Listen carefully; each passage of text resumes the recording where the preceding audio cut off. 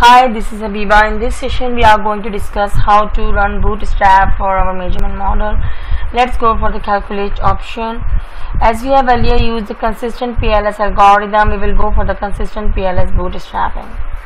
Let's see what is the consistent PLS bootstrapping. Bootstrapping is a non-parametric procedure that can be applied to test whether the coefficients such as outer weights, outer loadings and path coefficients are significant by estimating standard errors for the estimates. And the consistent PLS bootstrapping can only be used if you have used the consistent PLS algorithm. And uh, this uh, procedure has no individual parameters that need to be specified. However, the parameters for the normal bootstrap procedure need to be specified. Let's see what are the option. For the subsamples, we will go for the 5000 subsamples. We will select the parallel processing.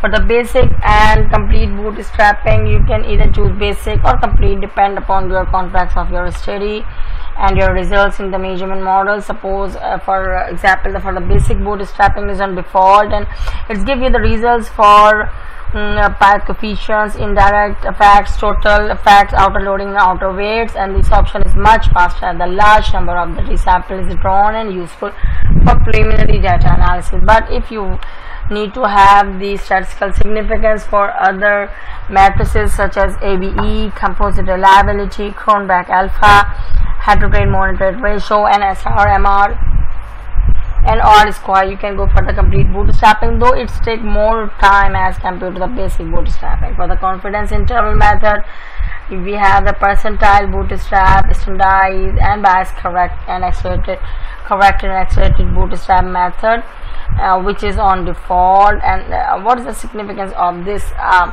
BCA bootstrap method? It is the most stable method that does not need excessive computing time.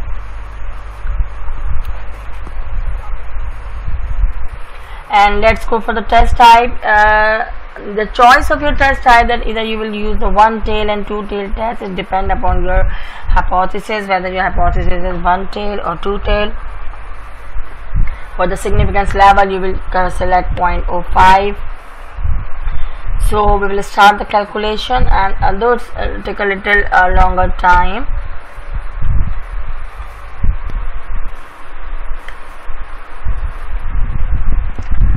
Now as we got these results and let's see uh, what we uh, uh, results we have.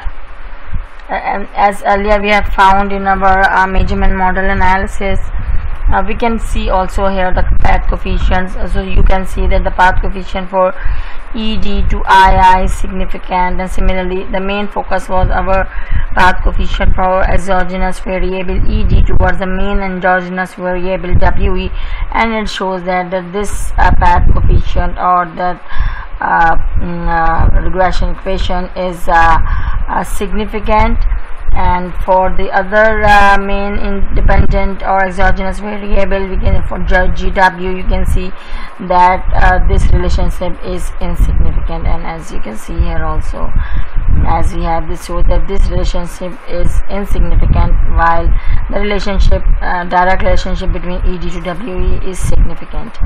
Uh, now um, we can uh, come to the total indirect effects. Uh, we found none of the indirect effects specific indirect effect there is none of the indirect effect it shows that there is no mediation effect. And uh, as it is as we found only uh, direct effect so we can say that there is no mediation. And uh, let's uh, see the total effects is also showing for the t. Total effect the effects of GW to WE appear significant but if you will go for the uh, individual effect it shows that this effect is insignificant. Let's go for the outer loadings.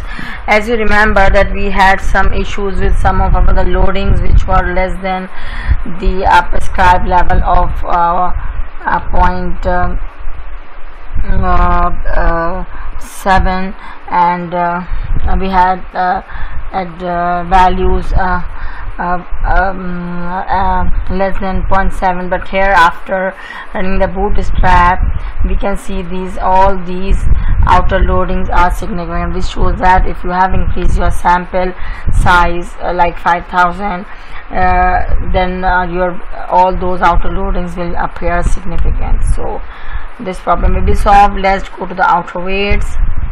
Here also all outer weights are significant so none is in the negative. Let's go for the r square.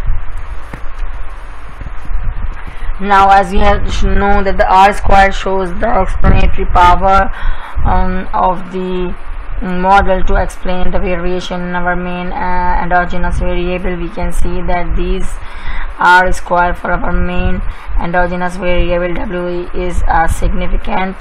And as you know that the r square values depend upon the number of the independent variables. We will go for the adjusted r square value and we can say the that the adjusted r square values for w is also uh, significant. And um, let's go to the f square value which shows the effect size which show uh, where uh, um, which means that we want to see that whether the relationship is meaningful or not. So here we can see that the direct relationship between ed to w is uh, uh significant as uh, well as uh, it has it's effective also and with the value 0.044 and let's go to the see the this relationship appear uh, it's not doesn't appear meaningful because effect size is less than that. Let's go to the you can see the AV also. Remember we had some issues in our PLS algorithm.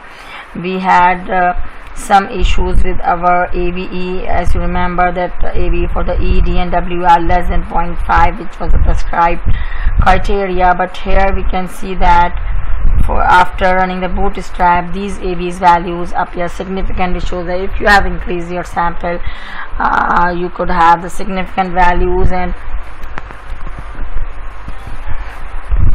now come to the composite reliability. Rho a cronbach alpha all appear significant for srmr also.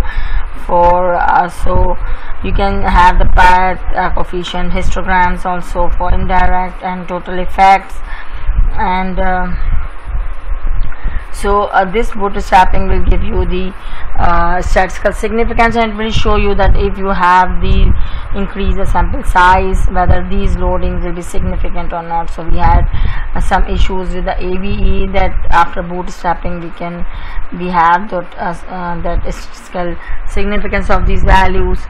Now after running the bootstrap we will go for the assessing the structure model in our next session Thank you.